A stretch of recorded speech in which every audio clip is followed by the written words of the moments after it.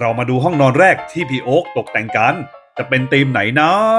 ก็คือข้างล่างเนี่ยมันยังมีอยู่ 3 ห้องนอนนะครับแต่ละห้องก็มีธีมต่างกันนะครับ ก็จะมีเอาง่ายๆพูดง่ายๆธีมแขกครับธีมจีนธีมไทย โอ้อันนี้ะอันนี้เมืองปัตตาเวียเนี่ยปัตตาคือเวียคือจริง ๆ มันอยู่ที่อินโดนีเซียนะอ๋ฮะอ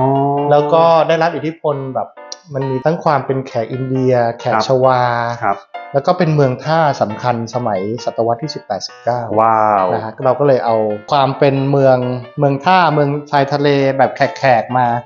นะฮะอะเดี๋ยวเชิญอ่าครับโอ้เชิญเลยครับครับโอ้ยครับสวย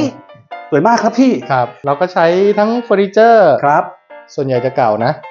ใหม่อาจจะมีบ้างเล็กน้อยครับแล้วก็พยายามทำสีสันให้มันดูแบบไม่น่ากลัวอืมเนี่ยสีแดงนะฮะโอ้อ่าคือคือพวกเนี้ยจะเป็นไม้อินเลย์ก็ก็เป็นสมัยเมืองขึ้นนะฮะเมืองขึ้นอังกฤษครับนะฮะมาจากอินเดียบ้างพม่าบ้างอย่างครับเตียงเนี้ยเห็นไหมเป็นลักษณะเป็นสมอเรือ โอ้โหอ่าเจ้าของเก่านี่อาจจะเป็นท กัหาปรตันเรือกัปตันอ๋อกับตันใครจะไปรู้อาจจะอยู่บนเรือก็ได้เหมือนในหนังที่เราดูไงฮะอ่าห้องกับตันแต่เตียงเนี้ยใหญ่ใหญ่กว่าปกติ เตียงนี้ประมาณ 7 ฟุตกว่า โอ้นะก็นอนสบาย เพื่อนชอบก็จะชอบนะฮะเวลาครับเพื่อนผมมา ส่วนการตกแต่งผนังเนี่ยครับบางทีเราเอาภาพจากเอ่อหนังสือเก่าเนี่ยครับเอามาใส่กรอบได้โอ้นะฮะอันนี้เป็นบ้านแบบหนังสือโค l เนียลออกแบบนะฮะก็อ่าก็คือ คอนเซปต์โดยรวมแล้วเนี่ยเราก็ควรจะแต่งให้มันเป็นแบบสไตล์เดียวกันครับหรือแม้แต่การเลือกเอ่อ wallpaper นะฮะ wallpaper ก็ก็แบบจะเป็นสไตล์แบบออกกึ่งแขกแขกแขกแบบแขกผสมฝรั่งหน่อยอะไรเงี้ยโอ้โหห้องน้ำครับดูประตูซะก่อนะอันนี้มันเป็นประตูเก่า ซึ่งครับมันเป็นประตูบานทึบอ๋อแล้วผมก็ให้เข้าไปฉลุ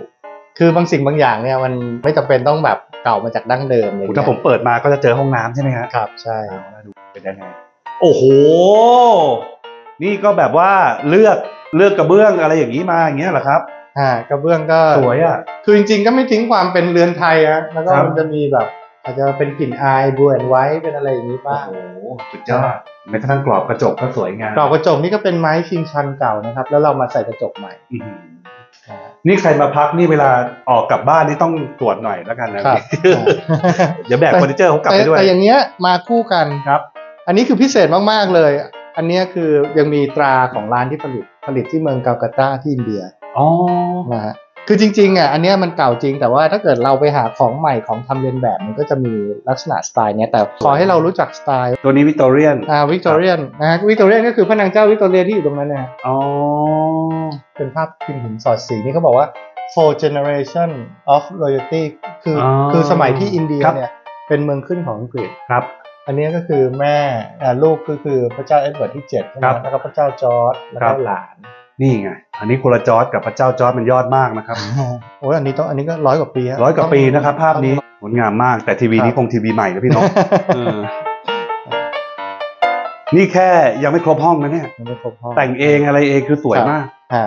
เอาของเก่าผสมกับของใหม่นิดหน่อย ตกแต่งให้เข้ากันแบบนี้ นี่เพียงห้องแรกเองนะ